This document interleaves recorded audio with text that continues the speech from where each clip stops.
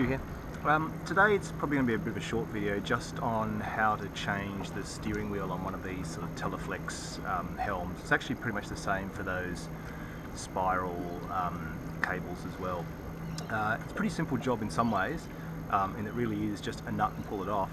Um, but they do tend to get really stuck so we'll see how this one goes. Um, sometimes they're also hard to get a bit of a grip on so it's, it's more of just a bit of technique as opposed to any, any real complex process or anything. So over a series of videos I'm going to do quite a bit of stuff to this boat. I actually think that um, boats are quite a fun platform to do some modifications to. Um, there's lots of uh, YouTube shows and things about modifying cars, uh, but you don't tend to see too much of boats. But at the same time, I think boats are kind of ideal in that they're um, very simple. You know, they're not as high value, so you don't tend to be as shy about getting in there and grinding away metal and welding new bits on. You know, um, and the other thing is essentially if it uh, if it floats, you could register it, so you don't have the same limitations you have with a car. You can actually get a bit radical with your, your boat modifications. So I'm hoping to sort of do a bit of a series on this boat as I push on.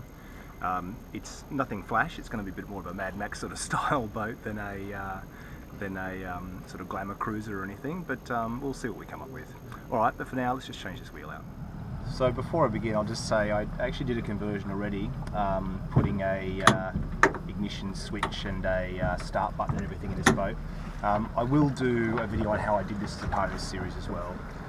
Uh, but for this job, uh, first step, a bit of wash, is um, just to take this, I've usually got some sort of plastic cover off and there'll be a nut on here. Now this is a slightly different style. Normally it's a shaft and a nut, so let's take this off and have a look. It's about uh, 16 mil this one.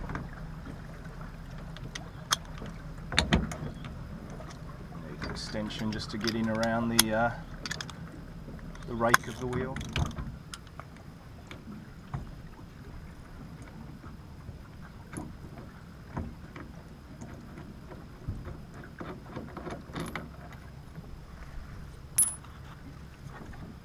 Okay, now once that's out, you'll see there's just a little sort of Woodruff key, it's actually, it looks like it's attached, it's not a key, um, holding this on. Um, theoretically, this wheel will just pull out now, but it's almost always impossible. There's usually just, uh, it's a tapered fitting in here, um, so just the pressure of doing the nut really forces it onto the tapered fitting, and a bit of this kind of aluminium corrosion that gets in here almost always locks it on pretty tight. So what I'm going to do now is just grab a puller, they're a pretty cheap tool you get from any kind of auto store, um, and see if there's some way we can hook this on. Um, you can also try sort of wedging a screwdriver in behind, um, but the great thing about a puller is they pull something almost straight out rather than kinking it on the shaft, because as soon as you pull from one edge, it really just sort of jams itself on. So we'll see if we can get a grip. The trouble with steering wheels is you've got these three sort of spokes to grab onto, but on this it's a very raked steering wheel. They come out and then the lip behind here is actually protected behind here so I think we'll be struggling with this one but we'll give it a go. So a puller is essentially just a tool with a threaded rod through the centre and then these three adjustable kind of uh, claws I guess you'd call them. Um, so what we're going to do is we're going to put this point in the very centre here and then just try and get a grip here on some part of the steering wheel behind. Um, because it's a three prong uh, three um, spoke sort of wheel and we've got these three, they're at the same um, same sort of positions around the circle so that'll help a little bit. Um, but as I said, I don't think there's still a lot to grip on. So let's have a go. I'll uh, set this up and I'll show you how to get it rigged up.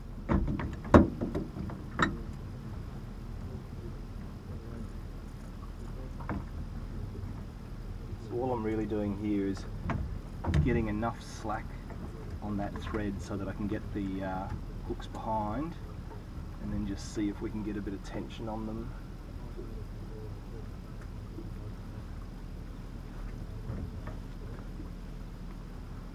Alright, it's not too bad. I'll bring in and give you a closer look.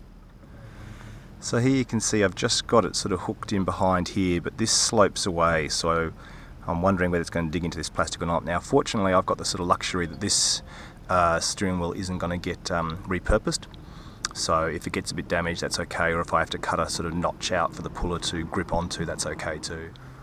So now I'm just going to put a uh, socket on there, now that was finger tight, and then just slowly start trying to uh, crank some pressure on this.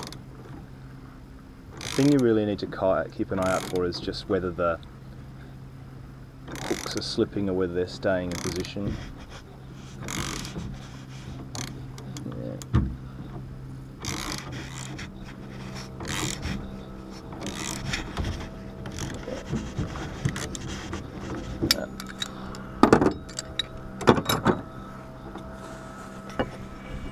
So you can see here how much force it's taken to get this off.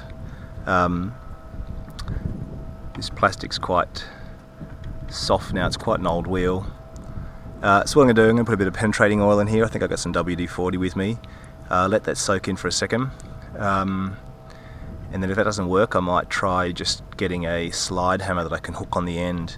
Uh, not ideal once again because you're not pulling straight the way a puller is, um, but just the shocking kind of the, you know the impact motion can uh, can help a lot with that.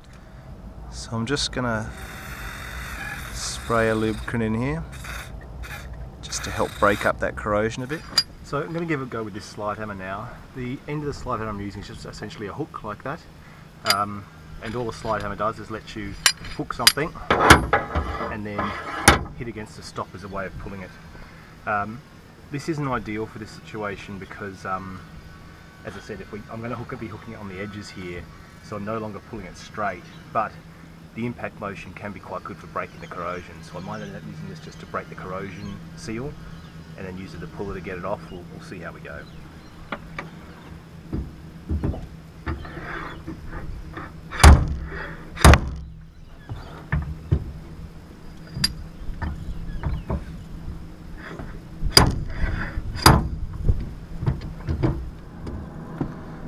So this pretty much hasn't budged a millimetre.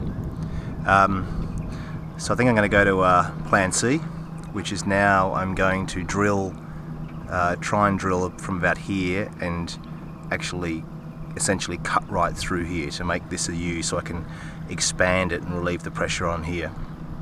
So let's give that a go. Okay, but I just realised the drill's in the car, so I'm going to go get that.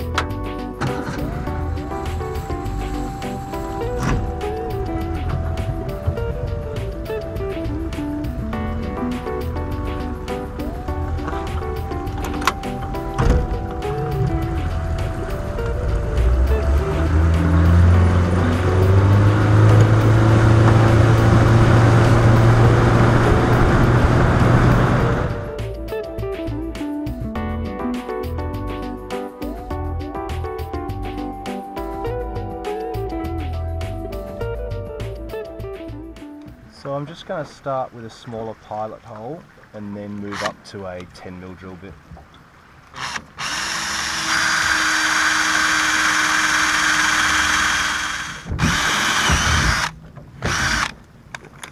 Alright, at least it's nice and soft aluminium, so that's always good.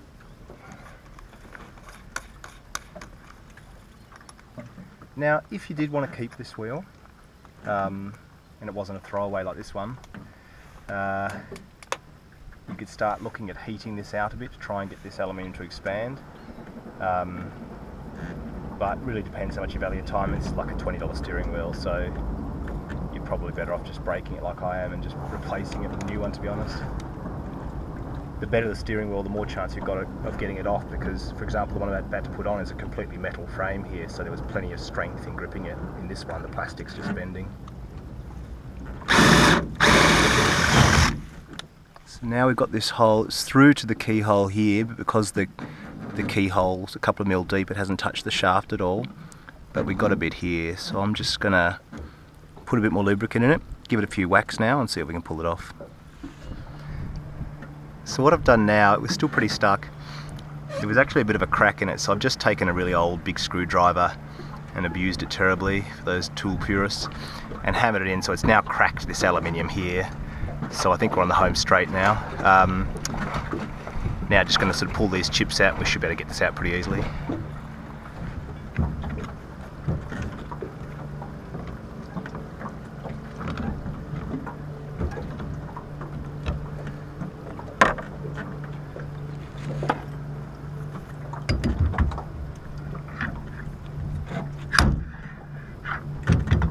Famous last words, of course.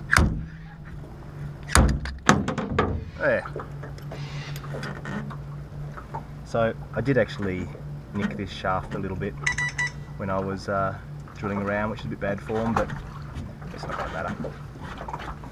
So, new steering wheel. I need to clean it up a little bit still.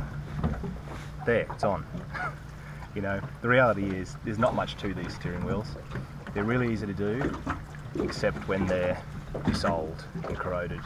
Um, as I said, there may have been a way to get this off more delicately, um, but the point of this video, I guess, isn't necessarily. Um, I mean, it's nice in some ways to have one that was very stuck, because it's a chance to show you the different techniques you might use to remove one, um, destructively, admittedly, but but to remove it. Um, but the main point is, uh, a lot of times when people take these wheels off, they take that centre nut off. Sometimes it's a, a centre thread like this, sometimes it's the thread on the outside. The steering wheel doesn't budge like that last one did, and then they start to wonder what they've missed, what they've done wrong. So the reality is you haven't done anything wrong, it's just stuck. Don't doubt yourself. It really generally is just this one centre nut and then whatever means you can do to pull it off that shaft, given how long it's been on there, what corrosion's under there, etc. So before I put the new one on, I'm actually just going to get a little bit of this uh, aluminium anti-seize just put it on the shaft here so I don't have so much trouble taking this off again should I need to, if the helm fails or whatever. So just a thin layer around the whole thing.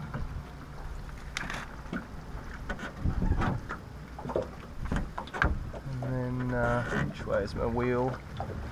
So the other thing is I'm just, uh, yeah it's not too bad, just making sure it's aligned well with the motor itself. Washer and nut.